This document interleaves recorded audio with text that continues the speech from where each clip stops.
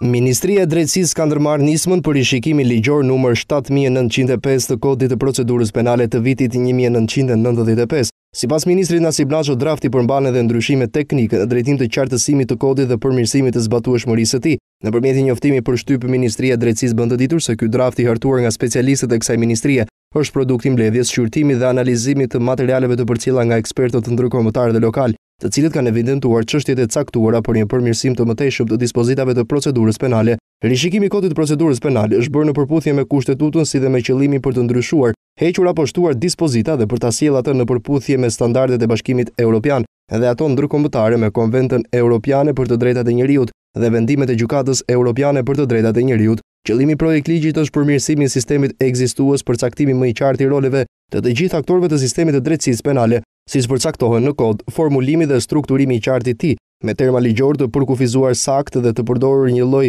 gjatë të gjithë Kodit të Procedurës Penale. Ndryshimet synojnë gjithashtu, garantimin e instrumenteve proceduriale dhe kohës së përshtatshme të mjaftueshme që prokurorët dhe punonjësit e policisë të kryejnë hetimet e duhura, përcaktimin e afateve të hetimit paraprak duke u bazuar në parimin e zgjidhjes së çështjes brenda një kohe të arsyeshme, garantimin e trajtimit të barabartë të të gjithë të dyshuarve dhe të pandehurve, standarde të qarta të të provuarit për të gjitha llojet e vendimeve gjatë fazës së hetimit paraprak dhe asaj të gjykimit, pranimin e parimit të lirisë së provave në procedurën penale, miratimin e rregullave të qarta për kërkimin dhe marrjen e provave, garantimin e mjeteve të përshtatshme për të lejuar gjyqtarët të drejtojnë gjykimet fiskale të disiplinuara dhe formale, dhënien e kompetencave gjyqtarëve për të ndëshkuar avokatët për sjellje që çojnë në zvarritjen e procesit gjyqësor, sigurimin e rregullave dhe standardeve të qarta për të gjithë aktorët e sistemit të drejtësisë, përfshirja e alternativave të gjykimit të plotë që reduktojnë praktikisht ngarkesën e gjyqtarëve dhe prokurorëve ndërkohë që mbrohen të drejtat e të pandehurve, rishikimi i dispozitave aktuale për gjykimin e shkurtër, parashikimi i procedurave të reja për mbajtjen e procesverbaleve gjyqësore dhe transkriptimeve,